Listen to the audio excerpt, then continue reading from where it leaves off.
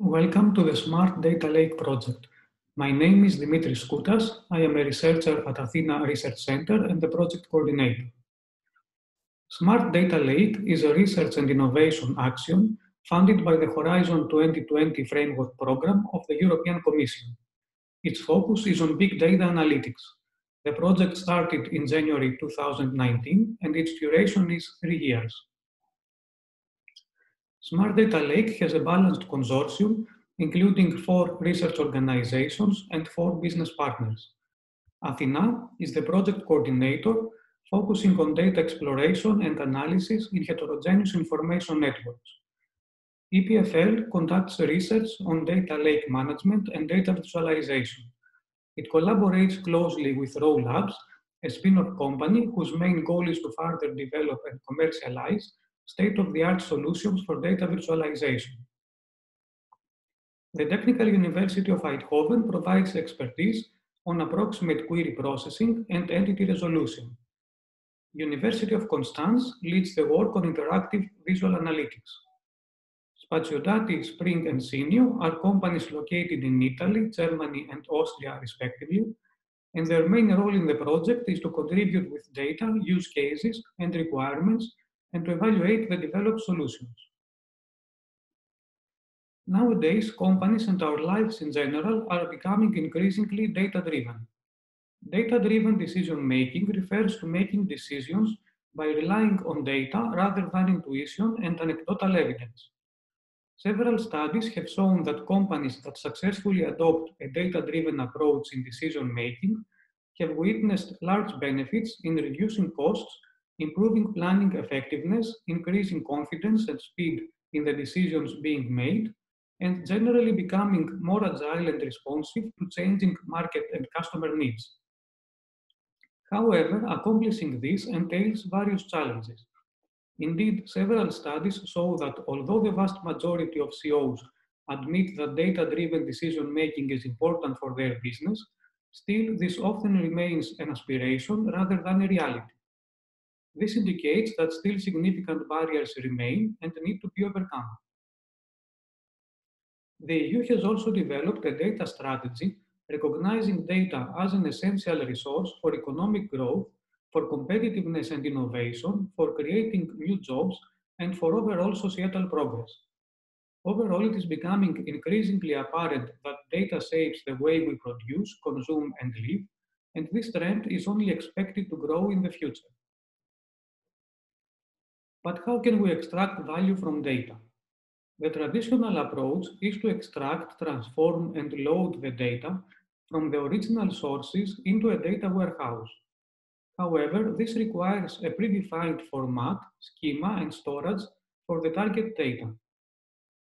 Therefore, it is not flexible for investigating new sources or accommodating changes in existing ones.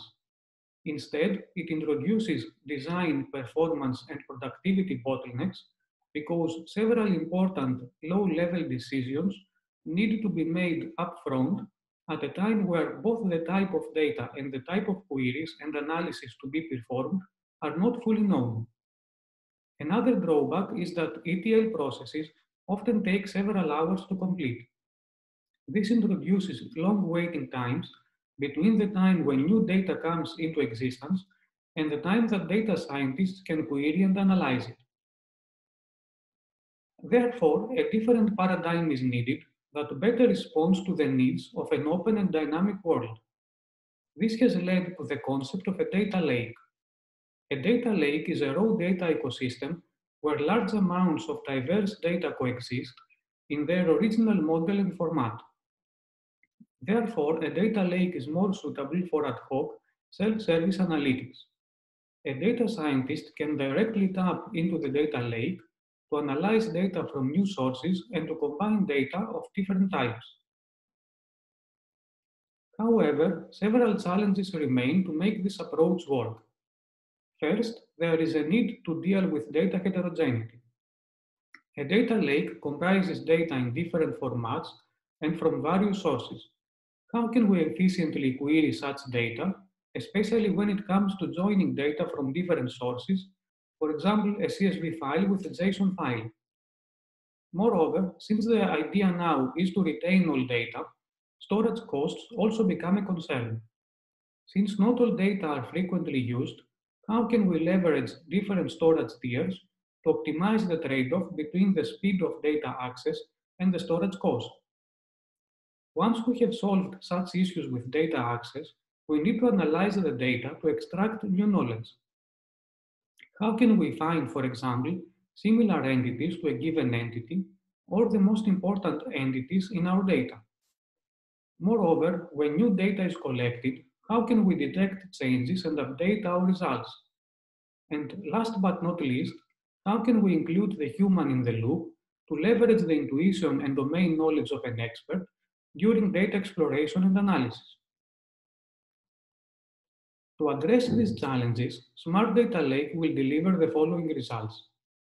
First, a query engine that supports virtualized and adaptive data access, as well as automated storage tiering. Second, a library providing several functionalities for exploring and analyzing entities in heterogeneous information networks. Third, a scalable and interactive visual analytics engine. These results will be integrated in an overall framework so that they can be used both independently but also on top of each other to provide added value. In the following, we briefly present the main components developed so far. To enable efficient and scalable query execution over virtualized data, we provide Proteus. Proteus is a novel query engine that leverages heterogeneous hardware making it possible to execute queries using both CPUs and GPUs, with the decisions being made automatically by a query planner. It uses just-in-time compilation to optimize performance, and it also supports scale-out and storage tiering. Data virtualization is offered by RAW, a commercial system developed by RAW Labs. This is a novel system that can query data in situ without requiring data loading and schema creation.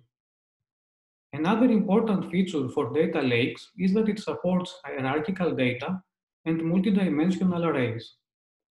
It also includes operators for data cleaning and mechanisms for authenticated access to external sources such as Amazon S3, Dropbox, relational databases, and others. We have also developed an approximate query processing engine that is built on top of Apache Spark, particularly using Spark SQL and the Catalyst Query Optimizer. Its main novelty is adaptivity. It has self-tuning capabilities, which allow it to automatically select, construct, and maintain appropriate data summaries. This does not rely on a query workload known a priori, but instead uses algorithms for predicting future queries and adapting accordingly. We have also developed components for detecting similar entities of different types. We focus on computing top-K results, which is more intuitive for the user, since the user is not required to specify appropriate similarity thresholds. Moreover, these results can be computed progressively which means that the user can control the amount of time and resources spent. Similarity search can be performed on different types of data, including textual, numerical, geospatial, and temporal. For entity ranking, we have developed a component that ranks entities represented as nodes in a heterogeneous network.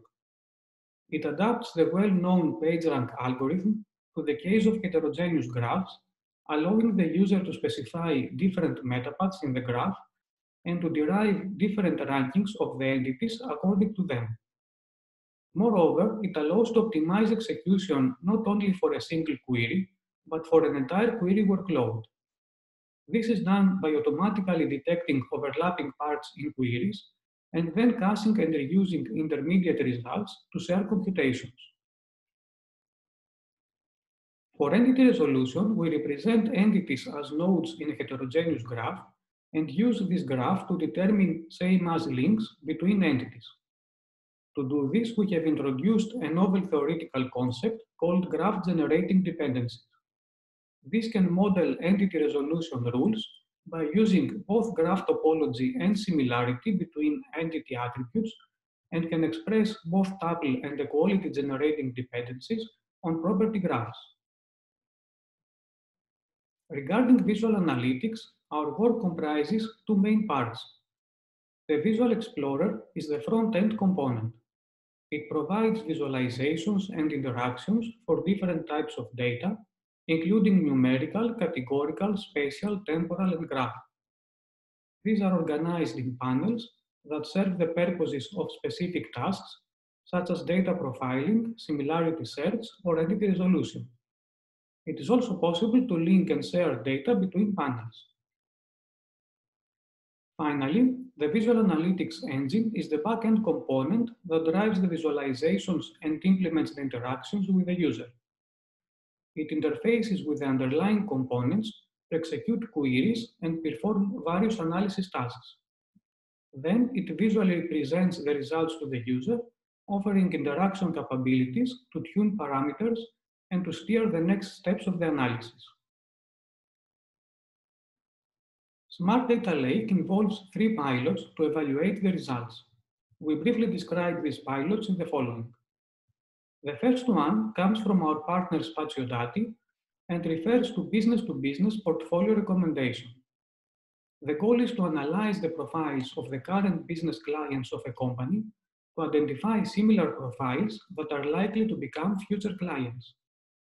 This requires assembling company profiles by joining data from multiple sources, providing visual analytics over the data to obtain initial insights, and then searching for similar companies and predicting potential links. The second pilot comes from our partner Spring and refers to stock market analysis with a particular interest on detecting seasonal patterns and correlations between stocks to optimize decision-making and planning for agricultural goods. This involves storage tiering for historical data, similarity search over time series, detection of patterns and changes, and eventually using these to improve forecasting. The third pilot comes from our partner SYNYO and refers to decision-making for innovation, procurement, and investment decisions involving projects, organizations, research topics, etc.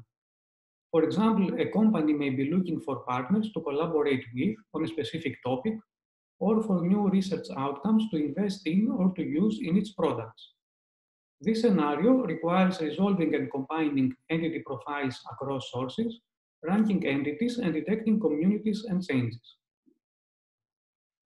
Thank you for watching. If you are interested to learn more about the project, you are welcome to visit our website and our GitHub page, and also to follow us on Twitter and LinkedIn.